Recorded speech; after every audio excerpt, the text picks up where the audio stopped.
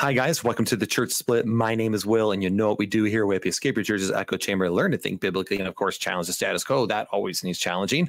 But first, don't forget to like and subscribe to the Church Split if you enjoy this video. Also, comment below, and please support me on Patreon if you'd like. You can support as low as $1 a month, and that does help this channel keep running. So, anyway, with all the internet stuff out of the way that nobody cares about, let's go ahead and start talking about people do care about, which is apparently the 2024 Olympics. The My entire feed has been on fire regarding this entire situation. And for those, of you who have been living under a rock, the 2024 Olympics opened up with a ceremony, as it always does. But it, part of that ceremony was a big performance with a bunch of drag queens, which is men dressed as women, and apparently a trans woman, which is oddly enough another, just a man dressed as a woman.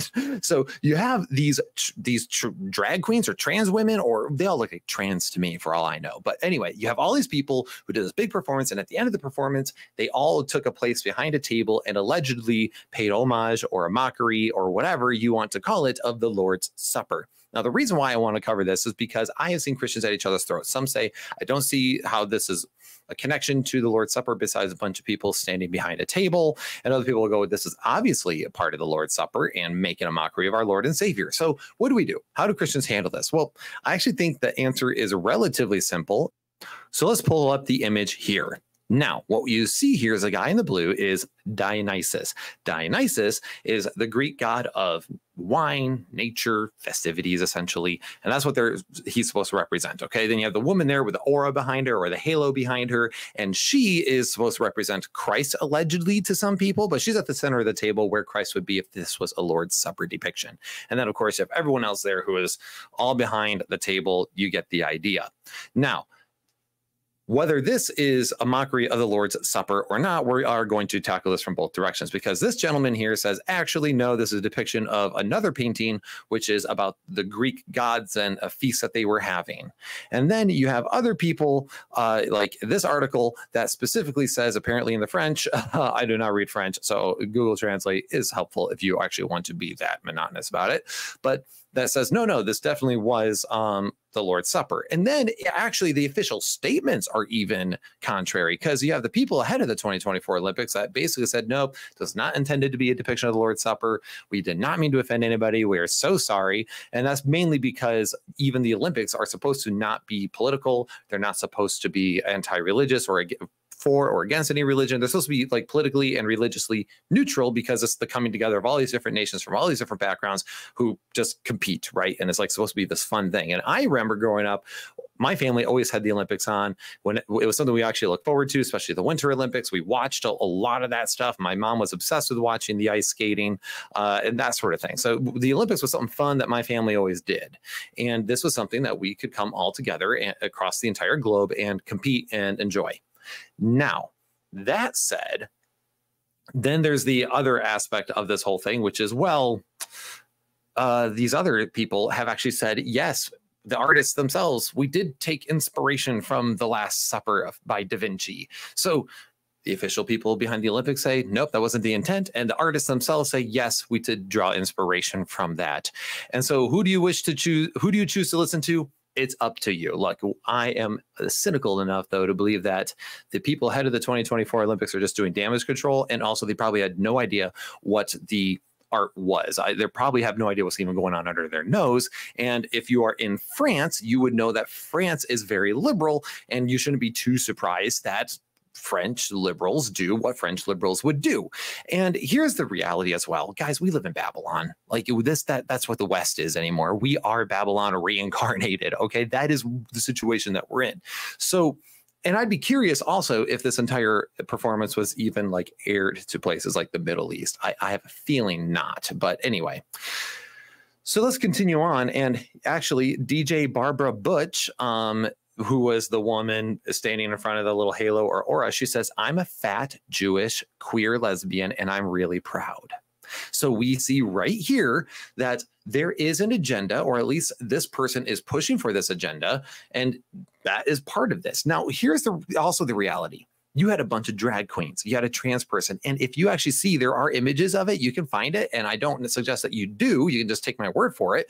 Uh, I found it against my will scrolling through Twitter, and uh, there was one of the gentlemen had his scrotum hanging out of his like mini skirt. So there are there was open nudity in front of children at this event. There's open nudity in front of the entire world at this event, not including the I problem with the trans thing. Now, here's the other issue. They're supposed to be an apolitical and a religious organization. And there is nothing apolitical about putting drag queens on display for everyone and glorifying that, making it out like this, this is great, awesome thing.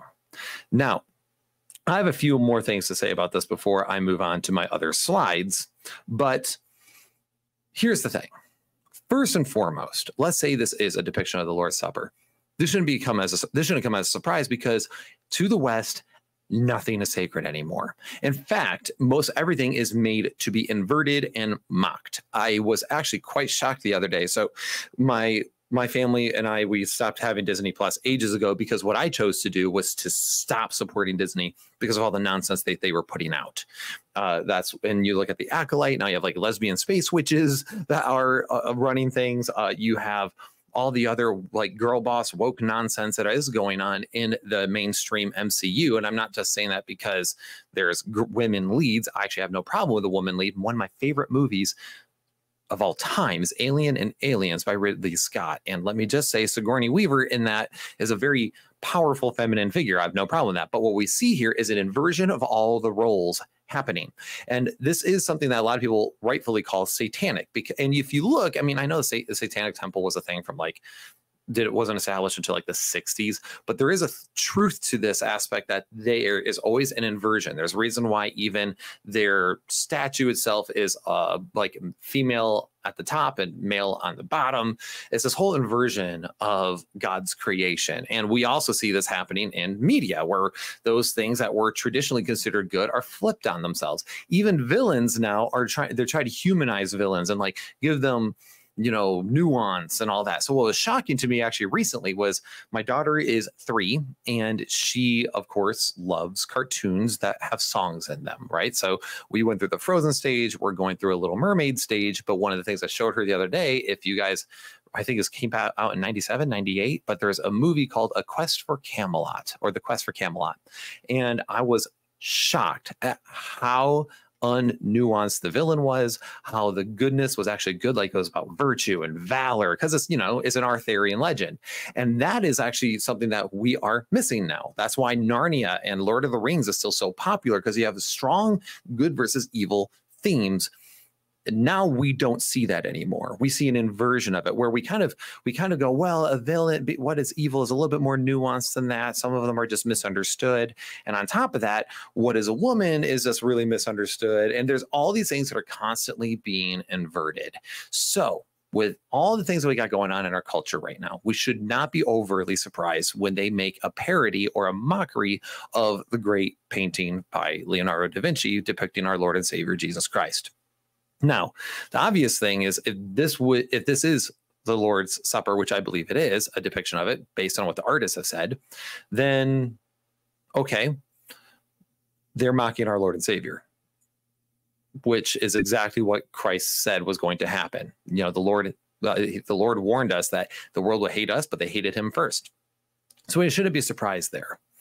Uh, the other issue is the very fact that um, not only is the Lord's Supper that w- was mocked, but then also there is the problem, and, this, and people are rightfully angry, by the way, because even though we shouldn't be surprised, it doesn't mean that you shouldn't be upset about it because we also see the inversion of everything that is great now not being great. Remember, I mentioned the Star Wars issue, uh, Indiana Jones. I could keep going on all these different franchises that have been destroyed. But these franchises are works of art, right? Like movies are a work of art. Video games, we see the same thing. If you're familiar with Gamergate 2, essentially, uh, the sequel to the original Gamergate, where you see Sweet Baby Inc. putting their uh, uh like their LGBTQ agendas in everything and their uh, intersectionality and their race nonsense all in these games, which are also art artistic expressions. But now we see classical art being inverted into a modern day thing. This is something that we see continually. It is the inversion of that which was always beautiful. And things that were really great artistic expressions are all are being hijacked continually to depict something new. And there's a reason for that. And that's because art communicates in a way that nothing else does. Art is a very unique expression that can reach people at a deeper level. That is why things like Star Wars have been hijacked. That is why Leonardo da Vinci's uh, paintings are being hijacked. That is why these things are happening because they're taking these original great ideas and co-opting them for their own political and social gain because there is nothing that communicates to people on a deeper level than art. And how do you normalize that sort of behavior? You normalize it by just going with it, by rocking it and doing it and pushing it in everyone's faces and to the point where people just go, "Oh, this is normal. Why is it weird?" Because it's like whenever you talk to a kid who was raised in a really rough home, and you go, "Wow, how did that make you feel?" And most of them will be like, "I don't know. It's just my normal."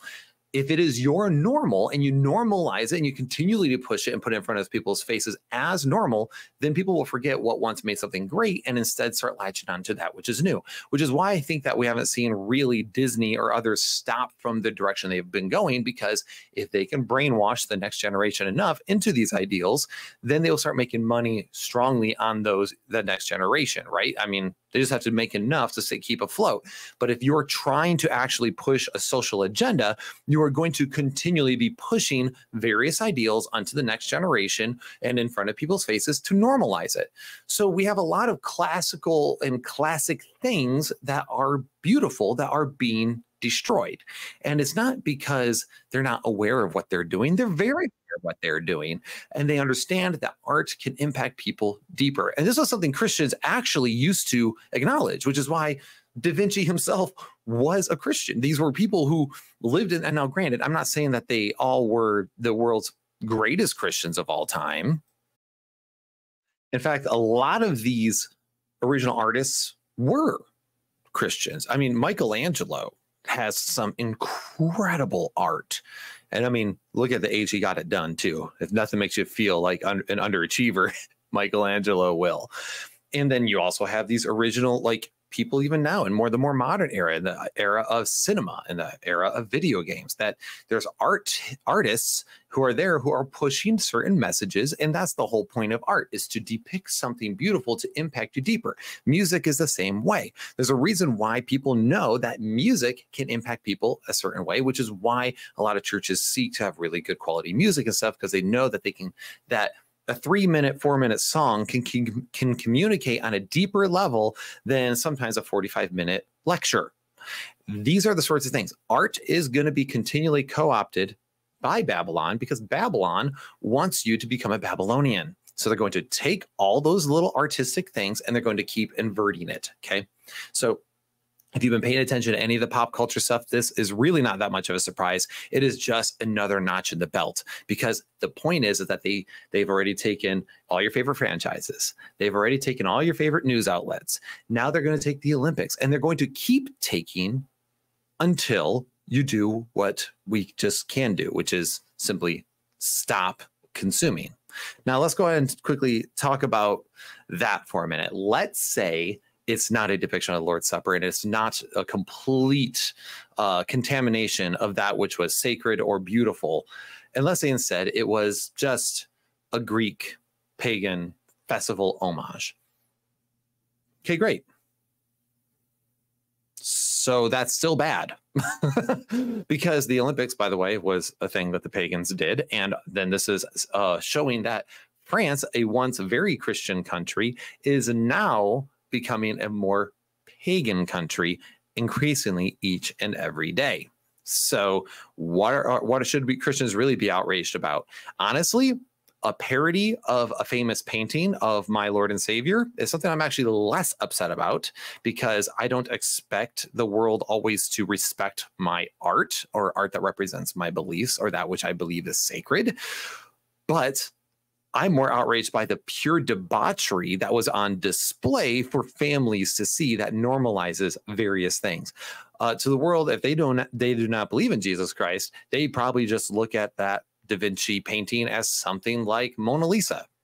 But what we see here instead is actually a, an attempt to normalize the feminization of men, of uh, destroying and undercutting men which of course that's what you want to do if you want to destroy societies you want to cut down men you want to cut down standard like masculine leadership. You want to destroy those things because, I mean, and you can look at the data on this. Men psychologically tend to be disagreeable, women tend to be agreeable. So the softer you can make the men, the more likely you can make society pliable as a whole. And the more you reach the children, especially, the more you can make it that way.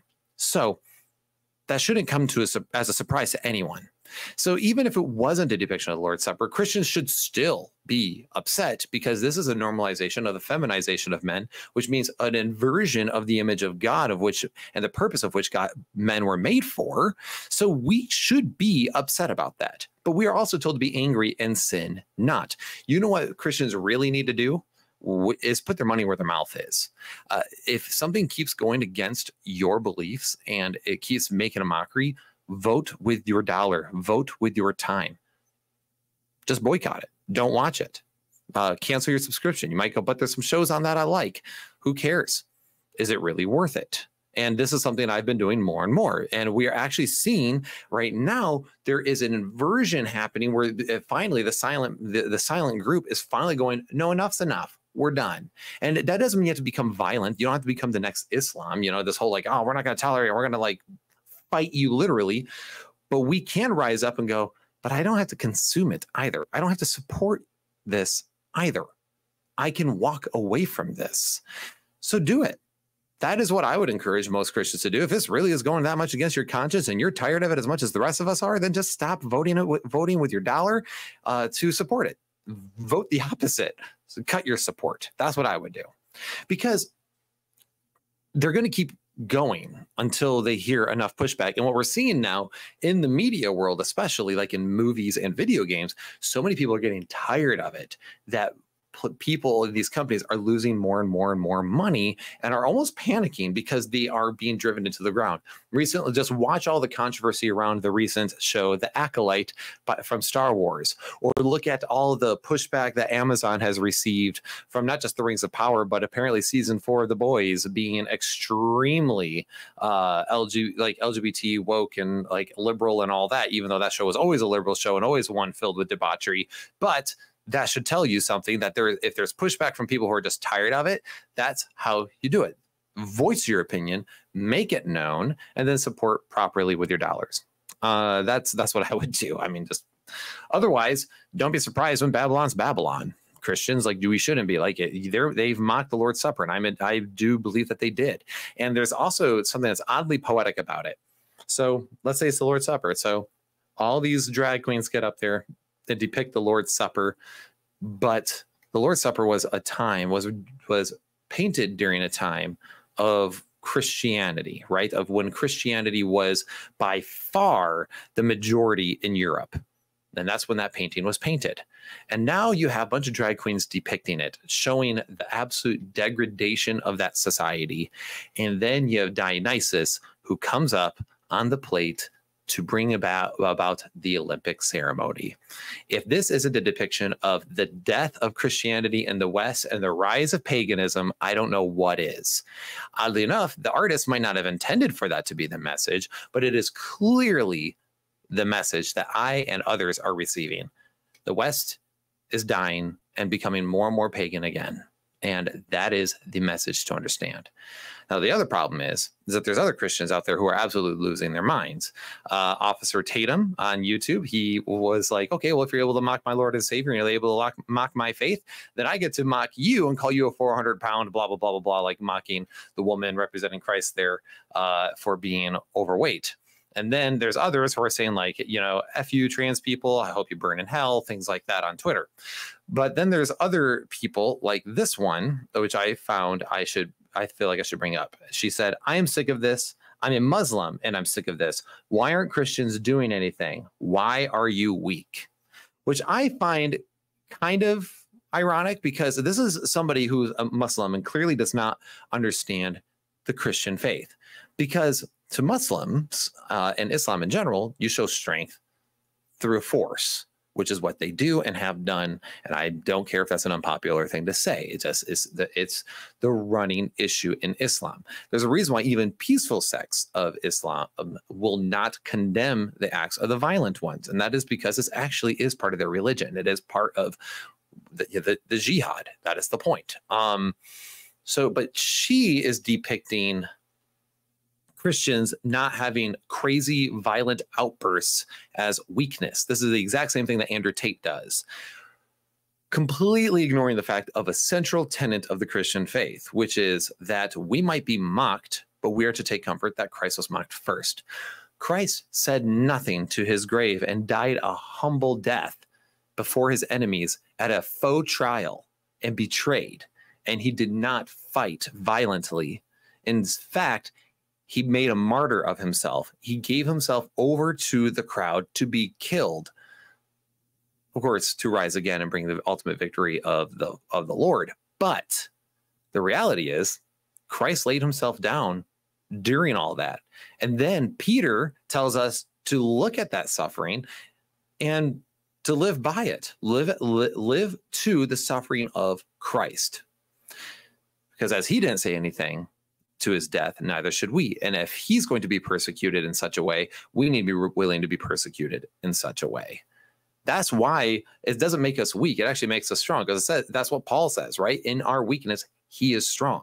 The whole point in the New Testament is continually that message that we take peace in the strength of Christ to go through the persecution and suffering so that way we can overcome evil with good.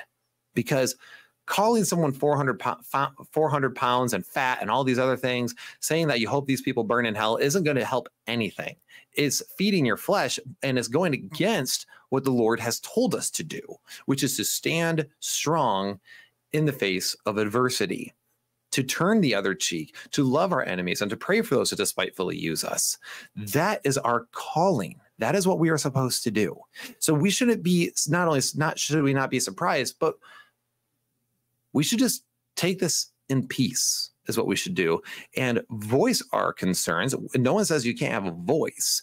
Yes say that you're it's wrong. Say that it's evil. Say that you're offended. That's fine. But what's not fine is to act out violently. And this is, of course, somebody who has no idea. Uh, and by the way, Christians are sick of this too. Christians have been speaking up about this in the West long before Muslims became a very overly popular religion in the West. Christians have been talking about this forever. And normally I'm very critical of Christian outrage culture because it's just I don't know. It's so, it's very cringy a lot of times, right? We all remember the Starbucks cups.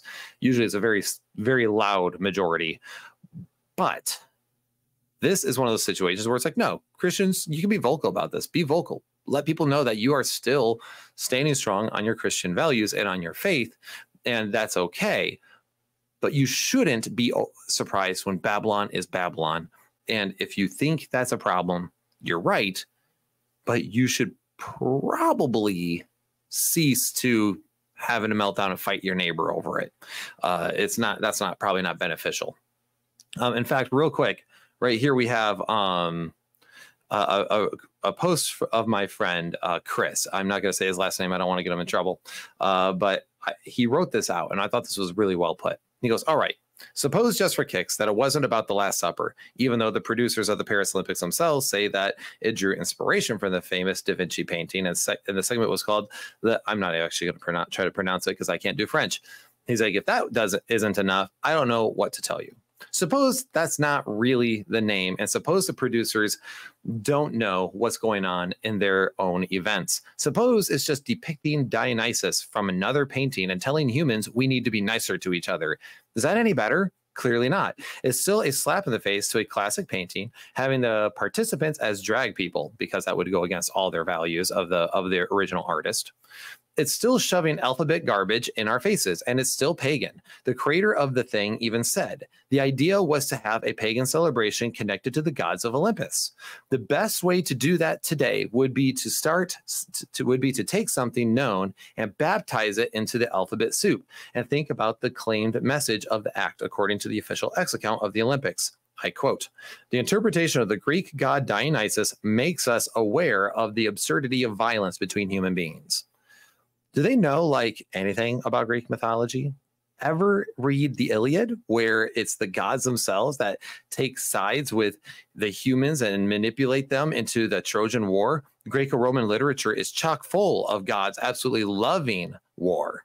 They couldn't get enough of it. Even for their own goals, this is a horrible example to pick. A much better demonstration would have been the biblical vision of peace and righteous uh, peace for the righteous, where they shall beat their swords into plowshares and their spears into pruning hooks. Nation shall not lift up sword against nation, neither shall they learn war anymore. Isaiah 2 4. But that should be, but that would be divisive, and we wouldn't want that. and I could not agree with my friend Chris E. more. That is exactly what it is, because that's their whole thing. Well, this was a depiction of peace amongst nations by using Greek gods. The Greeks were not peaceful people, and the Greek gods most certainly were not because that was the example that they set. But the example Christ sets is that we live self sacrificially and that we live peaceably with all men, as far as it depends on us, that we live peaceably with all men. Why? So that people can see our good works and might be brought to Christ because we might suffer and still be the good. That is the reality. We can suffer and still be the good. And that good shines much brighter when people are persecuting you. And if you show them an ounce of worldliness and sin in your response, all you're going to do is prove to them that Christians can't live up to the words of Christ. And we can live up to that. That's why we're ordered to. This commandment is not too far from us. We can achieve that, but we have to live in peace with one another. And the outrage is is deserved but I think Christians need to be careful about how they express that outrage. It's okay to express that you mocked the sacred, that you mocked a, a faith that you would never mock of anyone else's, right? You wouldn't mock Islam that way, Buddhism the same way, Hinduism the same way. No, but you mocked our faith. And that is a problem. And it, and even Joe Rogan has acknowledged it.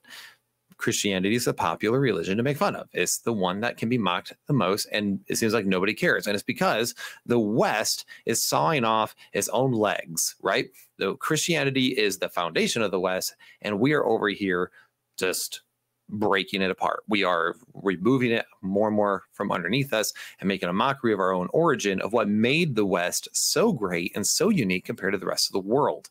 We are sawing our own legs off, and we eventually will be crippled and that is the way of Babylon. Uh, there's a song by Attalus that said, uh, Babylon, we'll build her again, that great city of man, but this time I'm sure she will stand. And that is a very depressing truthful statement. We will continually build Babylon, even if we get the, the United States and France and all these places to be right with God. Babylon will be built again somewhere else because that is the nature of man. There's nothing new under the sun. So we just need to pray for God's guidance and his mercy. And I'm praying that the Lord will return soon. Honestly, though, the Father knows knows best on when to come, and so we just need to be looking forward to the second coming of Christ and bring the gospel to others. And Christians, if you're tired of this, which I am, just vote with your dollar. Why give the people money if you don't have to? I get that there's certain things that like we all have to shop and we all have to buy. So there's certain companies that might support these things. We don't have to support everything and you can start making your voices known. And your voices mean very little if they still get your views and they still get your money, which is why I have started just spending more money on places where I'd that I'd rather support uh, for the similar services. I would rather support people to support my values, who aren't shoving certain things down my family's throat, and I think that's the best solution. Show the fact that yeah, people are tired of it is what we prefer. So anyway, guys, uh, this is that's my take on this whole situation. That Babylon is Babylon. Babylon's going to keep being Babylon, and that if it's the Lord's Supper, a depiction of the Lord's Supper, it is simply a destruction of, of that which is beautiful again. And if it's not, then it's a return to paganism. Either way, both are bad. We should not be okay with either one of them, and we should not be okay with our children being exposed to them. And I am sick and tired of us just not voicing it. So I'm glad people are speaking up, but I would uh, encourage you as you speak the truth to do so with love, with grace, and with wisdom. So, anyway, with all that said, guys, this has been the church split. We'll see you on the next episode. So, take care and God bless.